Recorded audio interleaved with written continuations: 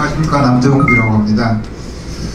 그 제가 토론회 이런 걸 잘 안 가는 것 중에 하나가 그 제가 가진 생각과 일반적인 생각이 좀 안 맞을 때가 많아가지고 좀 불편하신 분들이 계신 것들을 얘기를 하고 나면요 아마 오늘도 그런 얘기가 될지 모르겠는데 어, 가능하면 그런 걸 안 하려고 합니다.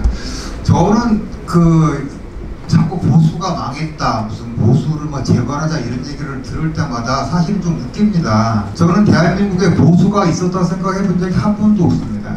보수가 있었다기보다는 저는 그냥 산업화 세력이 있었죠 그냥. 그래서 보수는 없었기 때문에 망한 적이 없고요. 재건이 아닌데 시작을 해야 되는 그런 단계라 생각을 합니다. 그 사람들이 이렇게 착각을 많이 하게 되는 이유 중에 하나가 이 시간 연대기를 보게 되면 보수가 있고 진보가 있다 생각을 많이 하거든요. 반대일 수도 있어요. 진보가 먼저 있고 보수가 나중에 나올 수도 있습니다. 왜냐하면 이념이 다르기 때문에. 그 보시면은 프랑스 혁명이 먼저입니까? 아니면 에드먼드 버크가 먼저입니까? 프랑스에서 그렇게 때려 죽이니까 에드먼드 버크가 저렇게 죽이면 안 된다고 생각하는 게 보수잖아요. 그러니까 지금 여러분 앉아 계신 분들은 제 생각에는 보수가 아니 그냥 산업화 세력입니다. 그냥. 근데 지금 이제 보수라는 가치 그걸로 지금 정부가 걸고 나오니까 이제 뭉치기 시작을 하는 거 생각이 들고요. 아까 잠깐 더뭐 조광조에서 하셨지만 저도 조선시대 얘기 잠깐 하나만 드리면은 조선시대 500년을 셋으로 쪼개면은요 훈구파가 해먹은 게 100년 훈구파가 사립 때려잡은 게 50년 사립파가 하다가 한참 보다 망한 게 350년입니다.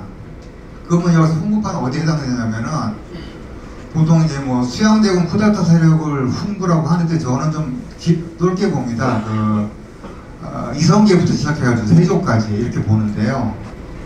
요 100년 동안 건국 세력이 우리나라 지게 되면은 그렇게 해먹었고 50년 동안 열심히 때려잡았습니다. 그동안에 살인은 주문동에 처박혀가지고 세미나만 100년 했어요. 당시 성리학은 유행도 아니고 지나간 지 오랜 거 가지고 겹치지 않습니까?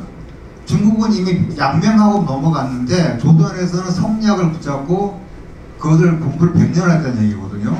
그래서 성리학 종주국이 됐잖아요, 조선이. 그럼 지금 살인도 똑같은 겁니다. 386 살인으로부터 얘기를 하는데 훈구는 지금 생물학적으로 지금 망한 거예요, 그냥. 지금 계시는 분들이 그 산업화 시대 경험을 가지고 계신 분들이 돌아가시게 되면은 그거 그냥 끝나는 겁니다.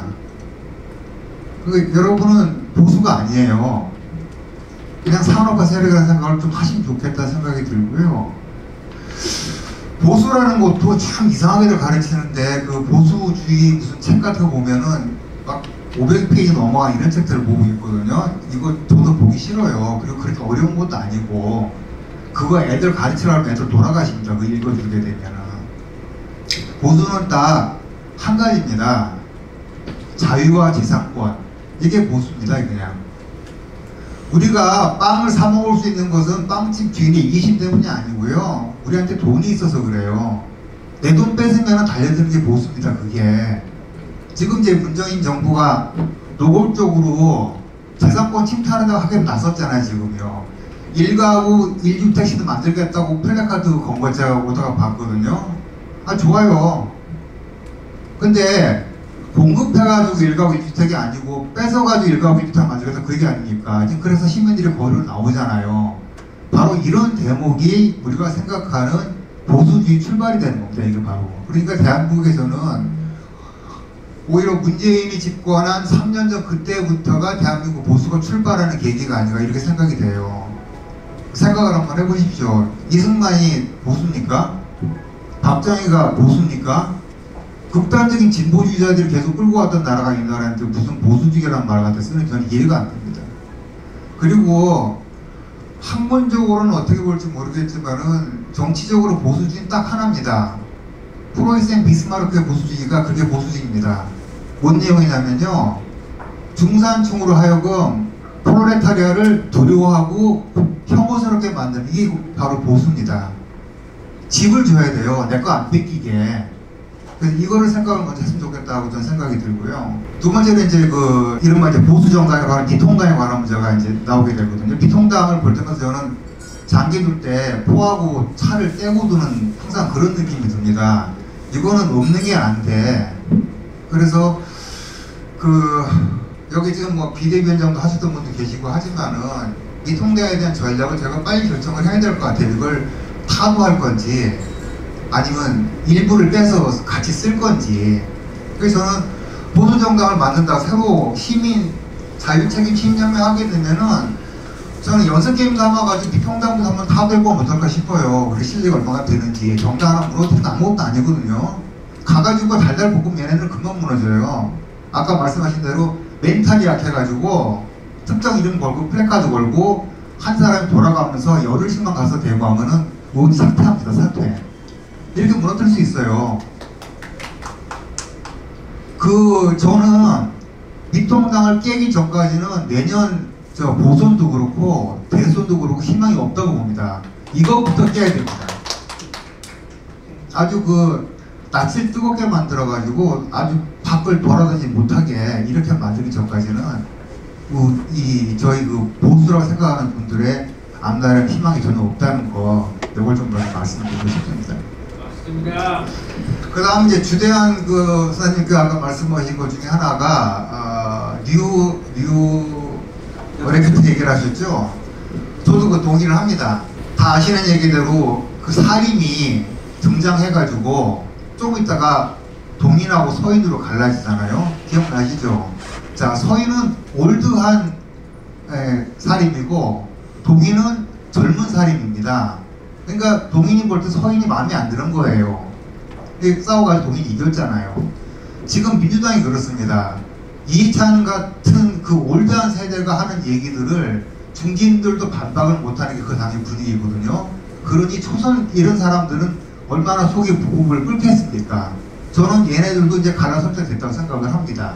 그렇다고 그러면은 저희가 어떤 식으로 스탠스를 잡아가지고 민주당의 좀 정상적인 인간들, 민통당의 정상적인 인간들을 모아가지고 새로운 정치 세력을 만들 수 있느냐. 전 여기다 어, 포인트 둬야 되는데 저는 그 핵심을 무조건 자유하고 재산권 두 가지로 생각을 합니다. 내 거 못 건드리게. 유명 말 있잖아요. 아버지 죽인 용서는, 저, 용서는 용서해도 내 돈 뺏어놓은 기억을 갖다가 하는 게 인간이거든요. 아, 본성이 답입니다. 보수가 좋은 거는 제가 보수라고 서 스스로 생각하는 이유는 보수는 인간의 본성을 말하거든요. 좌익놈들은 다 거짓말만 하잖아요. 이타적인 척하고 이런 것들이 잘못된 거라니까 이런 얘기를 해서 젊은 애들도 그렇게 끌어들여야지 맨날 무슨 자유민주주의 시장경제 이렇게 하면 애들 다 돌아서요. 그러니까 그런 얘기 하지 말고 내가 너네한테 재산 만들어줄게 라고 조건이 훨씬 낫다는 얘기입니다. 그리고 또 이런 얘기 이제 토론이니까 아, 이제까지 보수 토론에 가면 대부분 다 토론이라기보다도 발제자가 한 얘기 보조해준 역할 이런 거였는데 그 젊은 세대한테 다가가려고 그러지 마세요. 무서워해요. 저도 싫어요. 그 군복 입고 오시면은 굉장히 부담스럽습니다. 저는 보수가 좀 세련됐으면 좋겠어요. 그 별거 아니에요. 그 양복 바지요. 5cm 단 자르고 통 1인치만 줄이면 훨씬 더 세련돼요. 좀 멋있어야지 보수라는 거는. 저는 여기 계신 분들도 그렇게 바뀌실 거라고 믿습니다. 그 군복은 6월 25일 이날 하루만 입고 나오시고요. 저는 8.15 때도 가능하면 군복 안 입고 나오시면 좋겠어요. 정말 세련되게. 그 주변에 여기서 돌아가신 분 많잖아요. 그 까만색 정장 입고 까만색 넥타이 메고 대한민국 죽은 날이라 고 그러고 나오세요 멋있게. 말도 하지 말고. 성적이 버리세요. 미국은 배신하는데 도 같은 나라입니다. 좀 멋있으면 좋겠어요. 제가 그 좋아하는 그 영화 감독 중에 클린트 이스트우드가 있는데 그 영감이 나온 그 영화 중에 그랜 토리노라고 있거든요.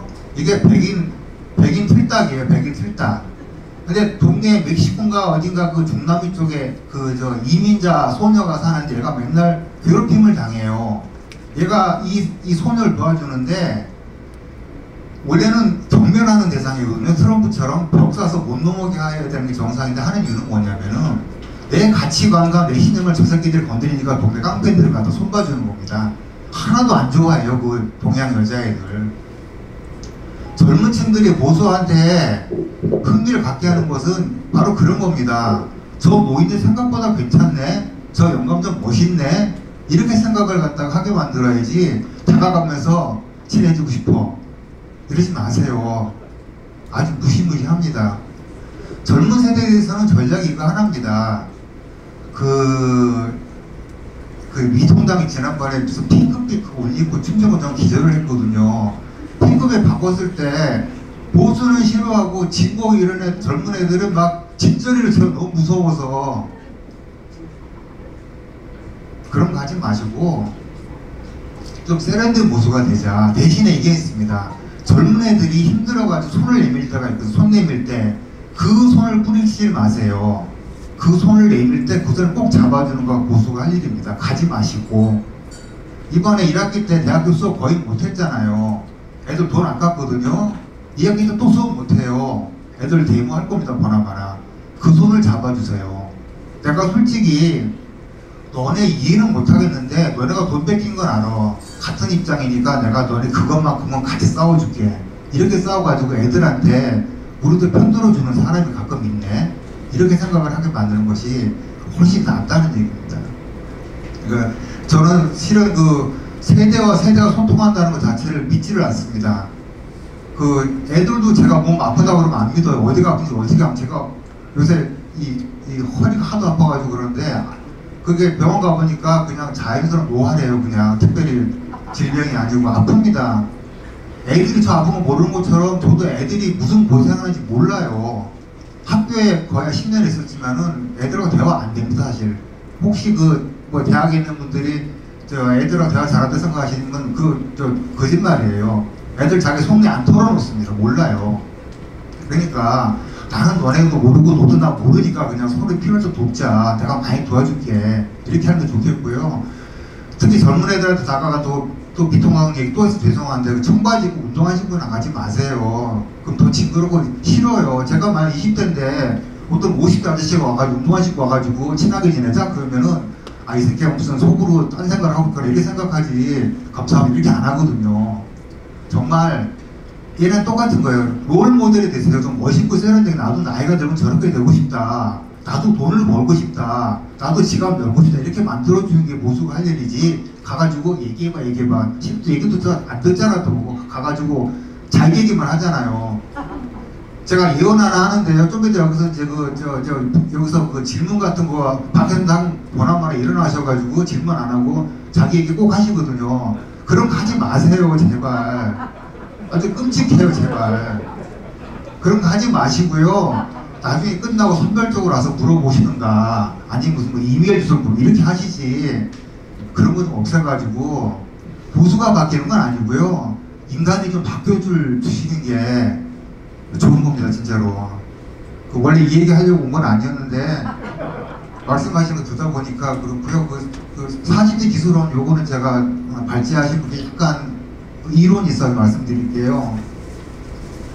그 지금 40대가 지금 60대 얘기를 하셨는데 그때는 아, 나이가 지금 뭐 60대가 하면 좋겠다 얘기하는데 그거는 영유아 사망률이 낮아져 가지고 평균 연령이 그렇게 된 거지 고대 사람들도 오래 살면 나도 오래 살았어요. 90살, 100살 살아요.